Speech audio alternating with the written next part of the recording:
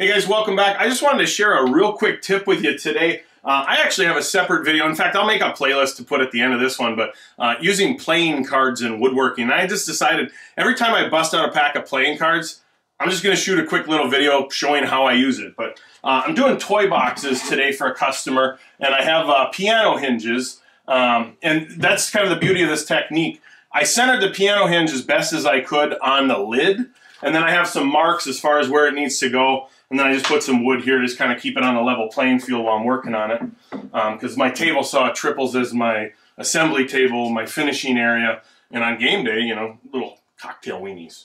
But anyways, um, get out some playing cards. This is a Bicycle brand. Uh, they can be at whatever brand. I'll be happy to throw an Amazon affiliate link down below in case you don't know what playing cards are.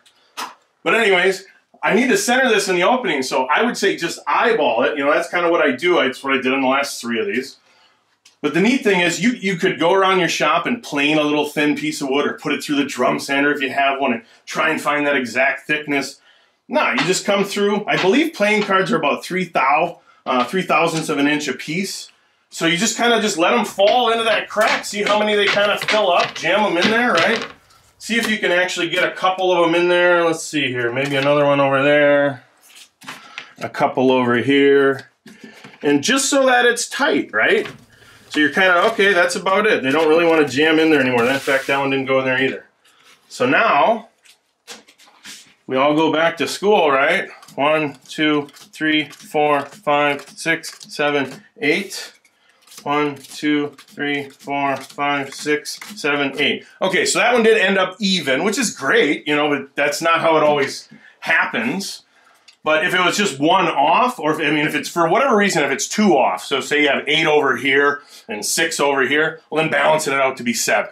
You know what I mean? Or if it's just one off, just set it in one direction. Um, oh man, flashbacks from top 40. Anyways, um, when you move it, you know, it doesn't matter. Like I said, they're only about three thousandths of a thickness. So, you know, if it's off by that much, yeah, you're good to go. But anyways, that's a, a quick and easy way. Then you can line up your marks as far as in and out, and then I'll just pre-drill it Throw some screws in there and I'll be good to go.